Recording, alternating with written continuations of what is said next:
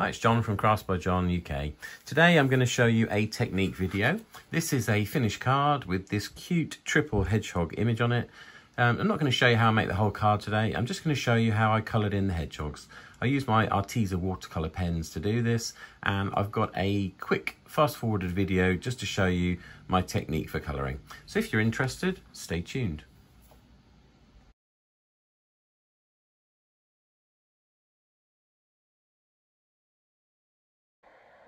You can see I'm starting here with my light brown. What I'm going to do first of all is just lay a basic layer down.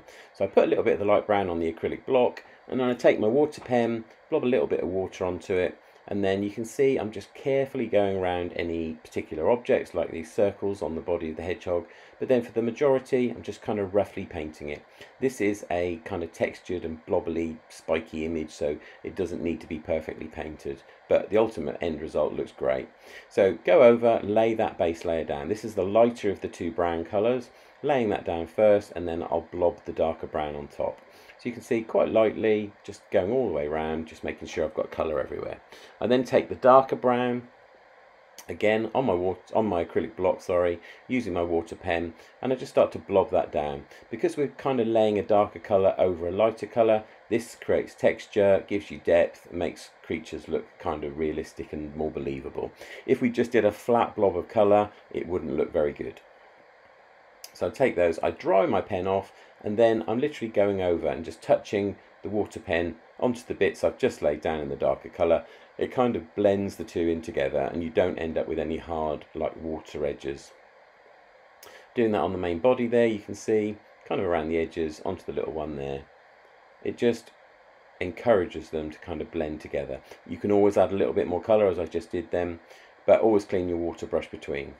I'm now using a kind of a light colour, um, I don't know what this one's called, but it's kind of like an orangey yellow, and I go around the edges of the hedgehog's faces. I want them to be in a lighter colour, and I'm also doing the feet and the arms, just basically going around. I'm not adding loads, I'm just laying down a kind of an edge, and then what I'll do is I'll just use the water brush uh, to pull that colour in so that I end up with light and dark areas. So I lay that down on the edge, clean my brush, and then you can see I'm kind of just going down over what I've laid down, pulling that colour into the centre. That way we end up with a darker edge, which makes it kind of look 3D, makes it look a little bit more realistic. And then obviously not laying any more colour down basically. So I'm pulling basically from the edges. And I'm doing that on all of the three hedgehogs, you can see so I usually go over the edge first and then over the center area. If it looks too dark, you can always use your um, kitchen towel to just blob some off the center. But I'm then going back in and just adding a little bit more around the edges. When you do that, make sure you use the water pen to kind of blob it. Right, I'm now putting some pink onto the noses just to give the hedgehogs a little pink nose and little pink cheeks. I also do that on the arms as well, just to give them a little bit of pink on the skinny bits. There we go, that's the pink pretty much done. Again, smoothing out anything that needs smoothing out.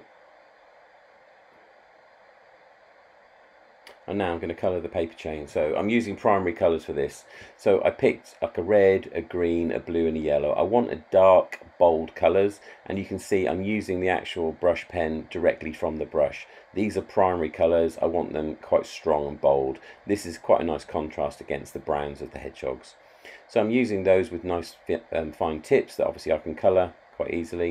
You see I made a mistake there. I just cleaned it with a clean water brush brush and then blobbed it away with some clean kitchen towel as well. These pens are so forgiving which is why I love them.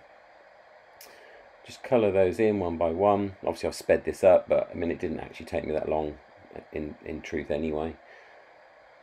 Just colouring each one in systematically. It doesn't matter which colour's which really. And then I think the last colour I had is blue. Yeah, there you go. Blue, just on those last two links. There we go. It's pretty much done. The only thing I've got left to do is these yellow balls. I'm not really quite sure what they're even supposed to be, but I think the idea is that the little one is sticking them to the parent's spikes. And then I just take my water pen. Again, I made a mistake there, but I just blotted it.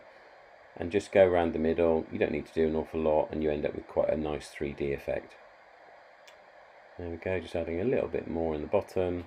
So you can see we've got quite a nice texture on the belly. There you go, coloured. quite quickly. There's the finished card. That's today's project.